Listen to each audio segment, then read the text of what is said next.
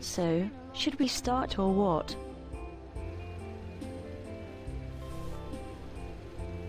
Hi, I am Joe. Maria, nice to meet you. Okay, here we go.